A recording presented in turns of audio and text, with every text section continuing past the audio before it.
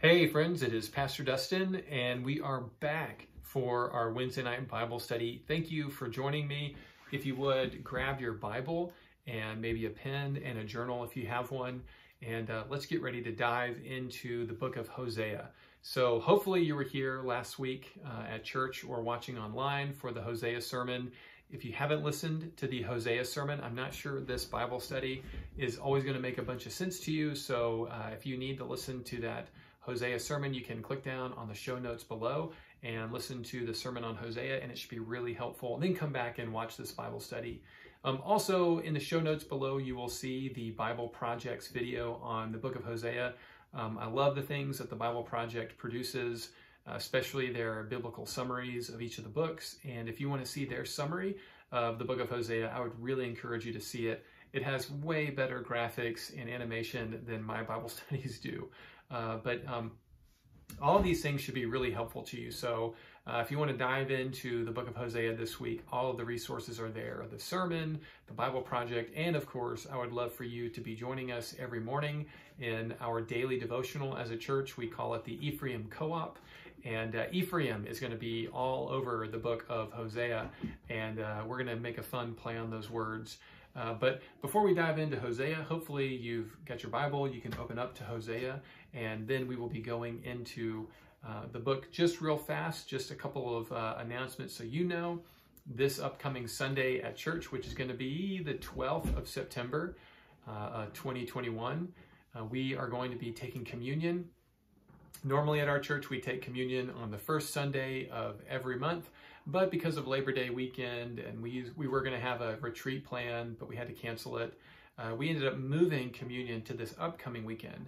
So uh, I would love for you to be preparing your heart and your mind to take the sacrament of communion with us on Sunday.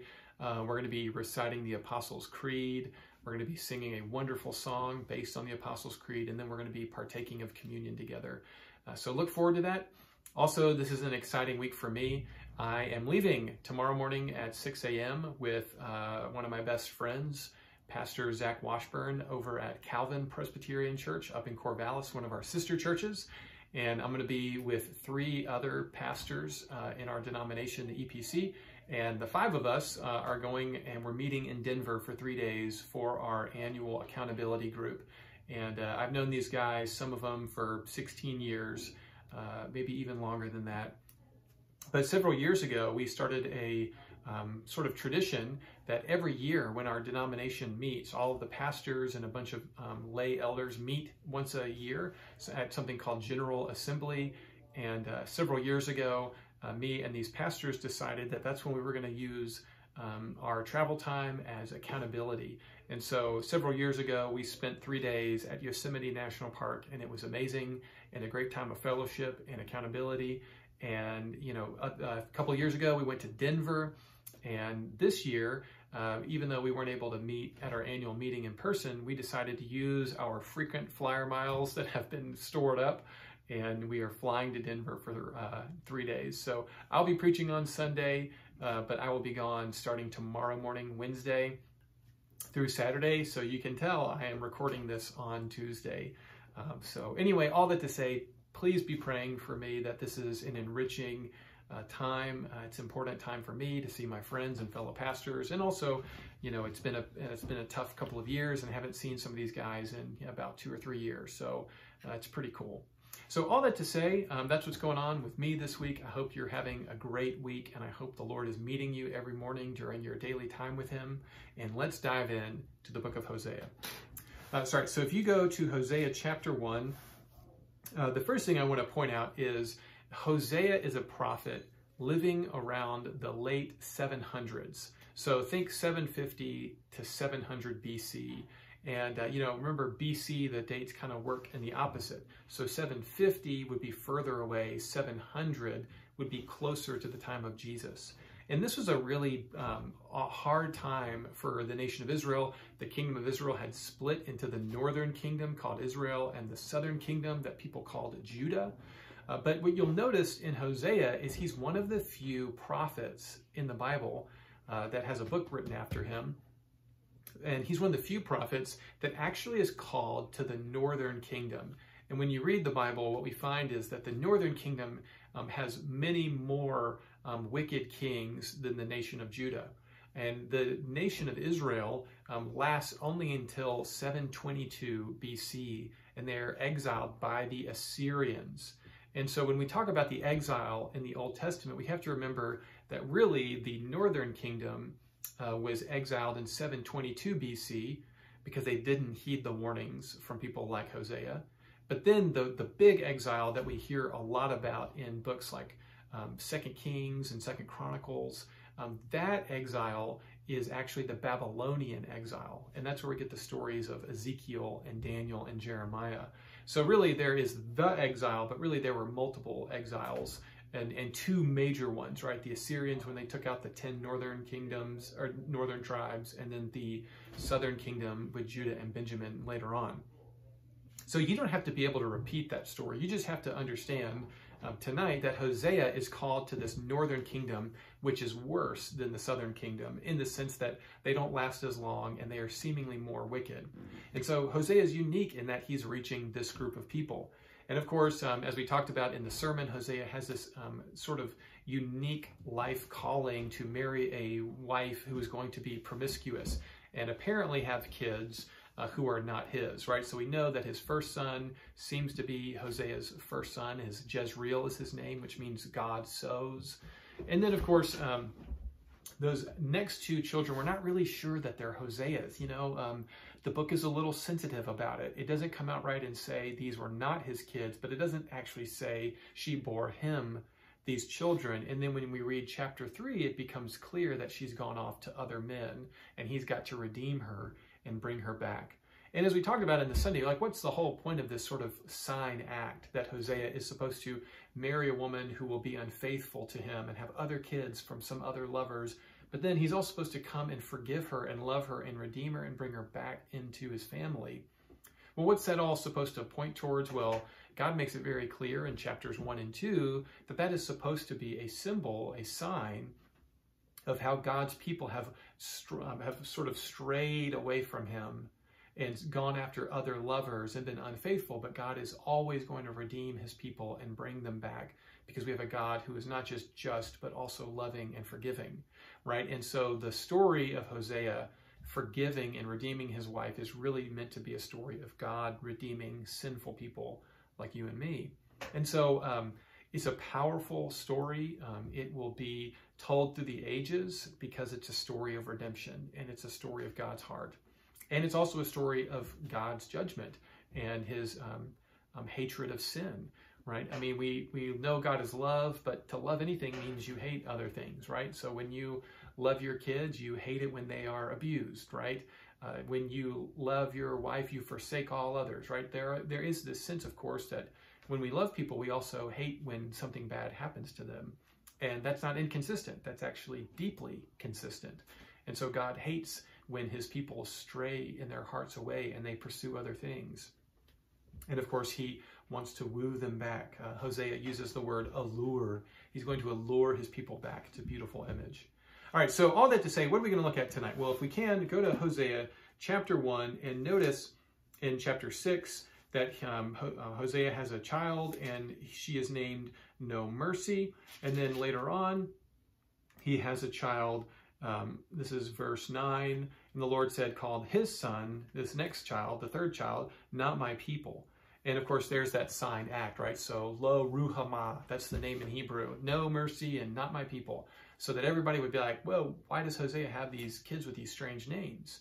And it's because God is saying to his people, you're not my people, and uh, you know, I'm not going to show you any mercy. Well, that should get their attention because they should want God's mercy, right? Who doesn't?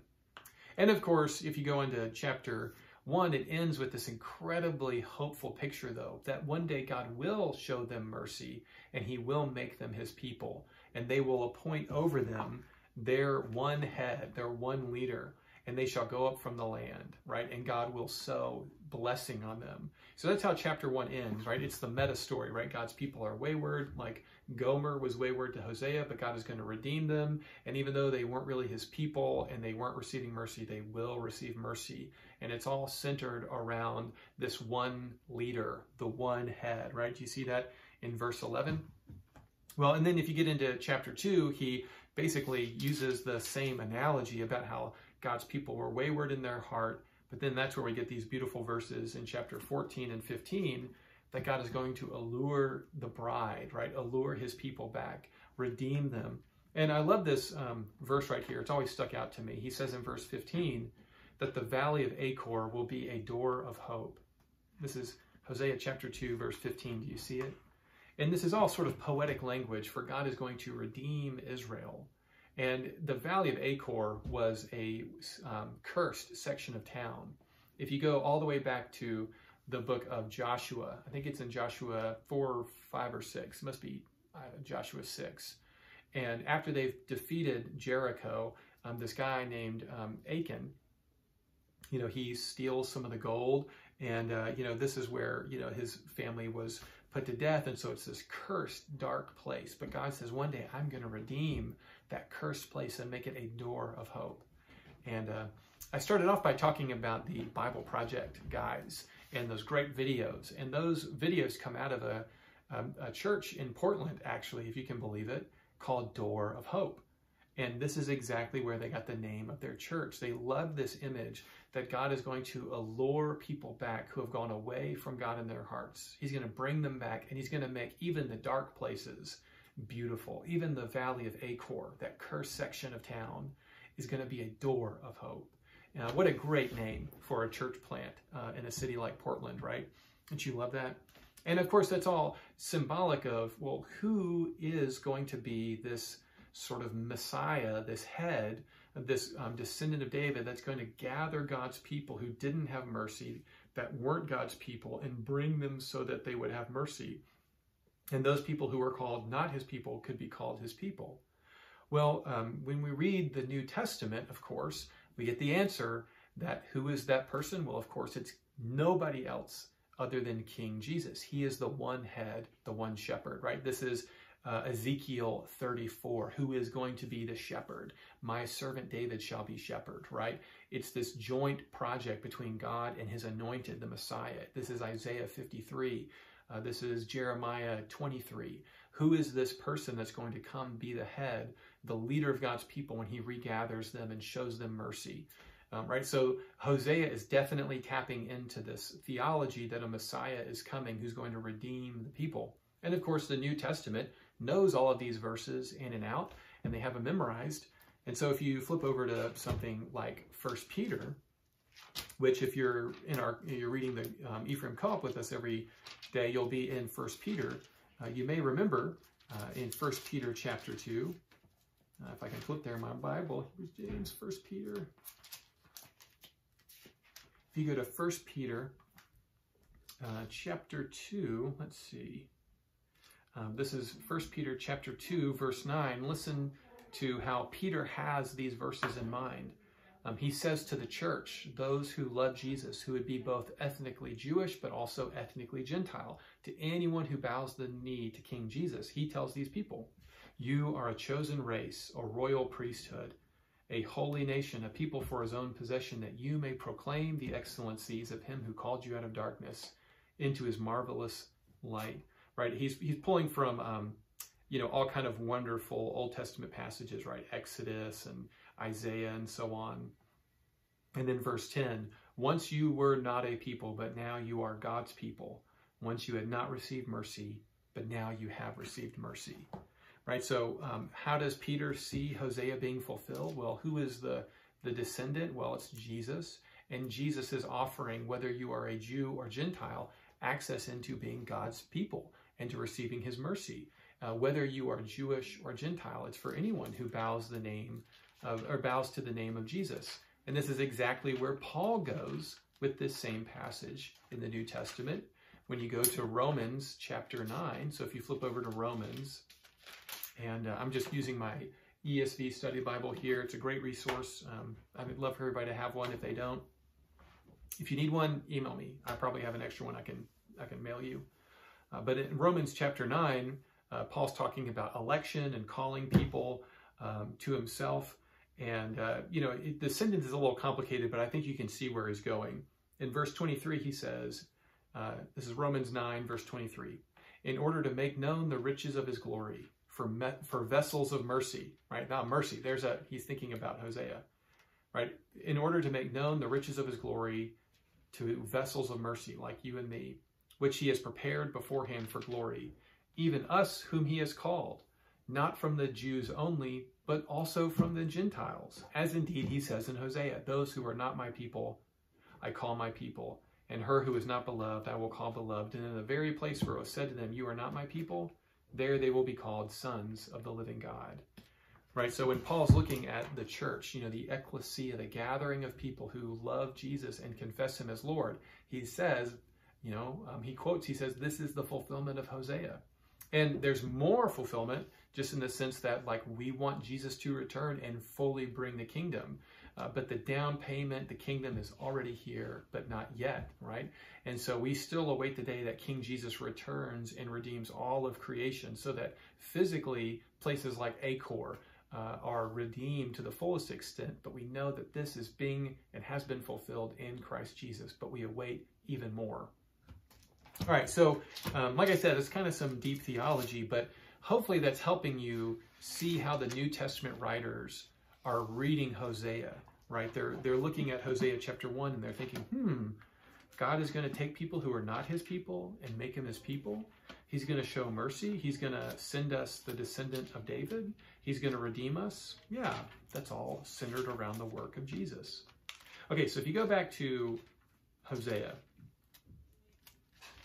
you flip back over there right? Chapter three is that sort of summary about, you know, God tells um, Hosea to go redeem his wife.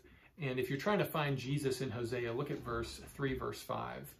It says God's going to like give them a time where they're away from him, but afterward, the children of Israel shall return and seek the Lord their God and David their king, and they shall come in fear to the Lord and to his goodness in the latter days.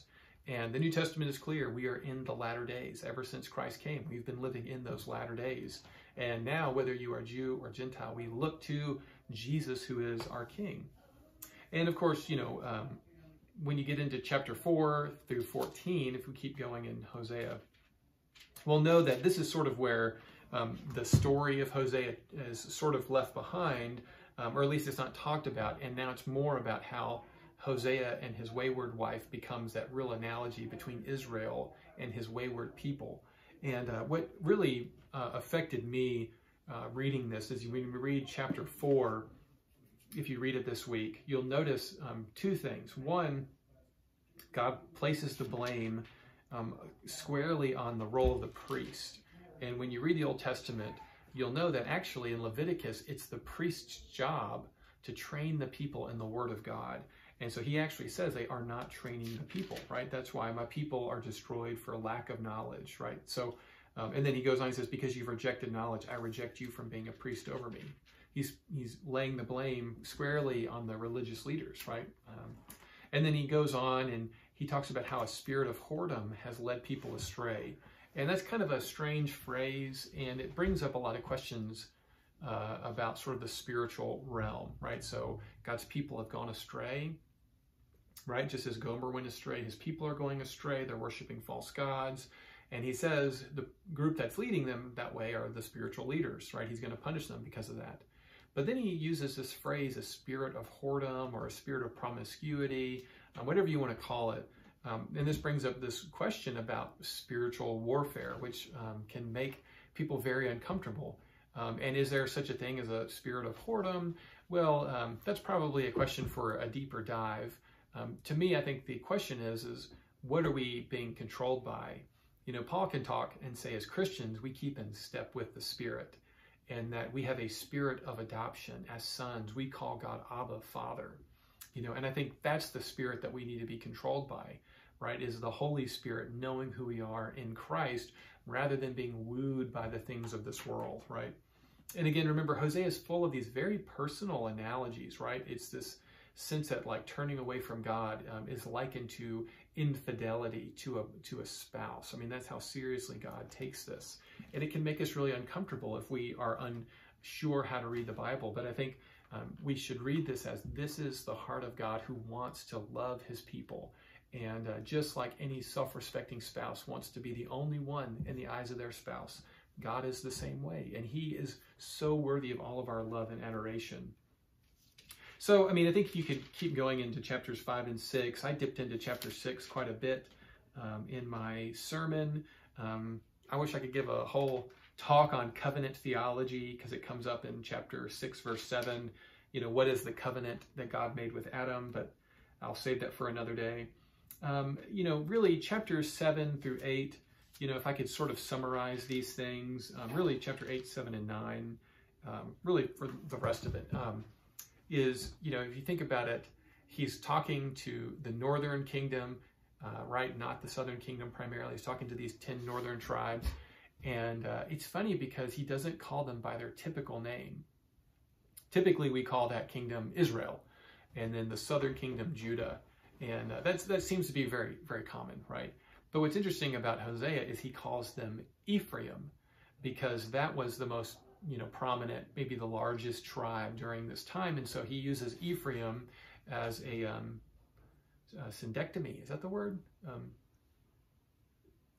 something like that. Yeah, yeah, it's like where you refer to like one part to refer to the whole. So he calls them Ephraim, not that they're all Ephraimites in that one tribe, but he uses the big tribe to refer to all of them, right? And so uh, kind of like maybe I guess the way this, a Southerner calls everything a Coke. Now, Coke is the most common Coke, but not everything is a Coke. But you know what I mean when I say hand me a Coke. I don't necessarily just mean Coca-Cola, right? He can call all of Eph- the nation of Israel Ephraim, uh, but what's funny about it, uh, one of the elders pointed out that, you know, um, in a way, the story of Hosea is sort of um, Ephraim co-opted, right? They are co-opted into worshiping the Baals and they're conflicted, you know, co-opted in the sense that you are morally compromised. And uh, that's so true that um, a lot of the message of Hosea is Ephraim has been co-opted. Uh, but that's not really the message of Hosea, right? Because the goal is not just to call out the people for their sin. The goal is to point them to repentance so they can turn and be healed. And so, really, um, I think the message of Hosea is an incredible message uh, for us to self examine ourselves, to look for areas where we need to repent, and then to focus on we serve a God who redeems. I mean, that is the heart of Hosea. Yes, Ephraim has been co opted, but Ephraim has been redeemed. And Hosea was looking through the corridor of time, saying, okay, I know God is going to gather his people. He's going to make them his people. He's going to show them mercy. I know that Messiah is coming, but how all these things fit together and what that looks like, Hosea couldn't quite see everything. And so this is when Jesus bursts into the scene in the New Testament and he fulfills all of the promises of God. All of the Davidic uh, messianic uh, fulfillments are found in him. Uh, but even the disciples didn't see how all of the things going on in the Old Testament fit together, you know, at the cross, which is why in things like Luke 24, like in my sermon, it takes, you know, Jesus speaking to us by the Holy Spirit to show how um, all of the scriptures point to him. And in a way, now that we see that, it's almost hard to ignore. It's almost like you can't not see it. Uh, but we really need the Spirit to reveal the mystery of the ages, you know, as Paul says in Ephesians 3 to us. And so hopefully, you know, as you're reading the Old Testament, you are seeing it point to the New Testament. And you're seeing it so much more clearly now. And at the same time, I hope as you're reading the New Testament and things like Romans 9 or First Peter or Matthew when it says, out of Egypt I called my son, you're seeing the New Testament in this way that's really shedding light on the Old Testament, and you're seeing how these things are this incredibly intertwined, beautiful story. Um, and I guess just to maybe finish up, if I can, um, you know, one of my favorite documents of theology uh, is, is uh, something called the Westminster Confession, and uh, there's all kind of versions of it. Um, I'll use the old version of it now that I think about it. I like I like old language. Um, but in chapter one of the Westminster Confession, um, this is just a summary of doctrine. Um, it's definitely not on the level of Scripture, but it's a great summary of what Scripture means. Um, in chapter one, it talks about why are we convinced that God's Word is really God's Word? And uh, listen to this answer. I love this. It says, this is Westminster Confession of Faith, chapter 1, part 5 we may be moved and induced by the testimony of the church to a high and reverent esteem of the Holy Scripture. Okay, so one of the reasons why we believe God's word is holy because of the testimony of the church. Other Christians, other pastors, you know, they help us see that. Okay, that's good. Another reason is the heavenliness of the matter. Okay, like this is some pretty powerful heavenly stuff, you know, it's like talking about e eternity and God. That's pretty cool. Then it says another reason is the efficacy of the doctrine, like the way that the gospel humbles us, the way that it convicts, the way that it comforts. Like the doctrine that it teaches, it works if you apply it, right? It really does change your life. That's a reason to believe it's scripture. Um, another one is the majesty of the style. It's written beautifully. And then I love this next one. This is what I'm getting at. It says another reason we can be induced to believe in God's word is the consent of all of the parts. Like when you read the Bible and you realize that all of these things are so woven together, uh, that God has been preaching the gospel since the time of Abraham, to, to quote from Galatians chapter 2. You see that all this is building towards Jesus. The consent of all the parts is so profound, it helps us to believe that this is God's word. But really, uh, the, what Westminster says, though, is the full persuasion and the, insur- the assurance of the infallible truth and divine authority of the word is not in the consent of all the parts or the majesty of the style or the efficacy of the doctrine. The way that we know that this is God's word is from the inward work of the Holy Spirit, bearing witness by and with the word in our hearts. And I love that uh, to finish. Um, you know, we know this is God's word because the Holy Spirit is impressing the message of God's word onto our hearts. And we get to sit back and enjoy the consent of all the parts. So hopefully you are diving into Hosea. You know, listen to the sermon if you haven't. Check out the Bible Project video on Hosea. And of course, this week, read Hosea. And uh, remember, uh, right, the holiness of God, our sin, but how Christ fills in that gap. And that's growing more and more over our lifetime. I love you guys, and I will see you next week after I get back from Denver, Lord willing. See you.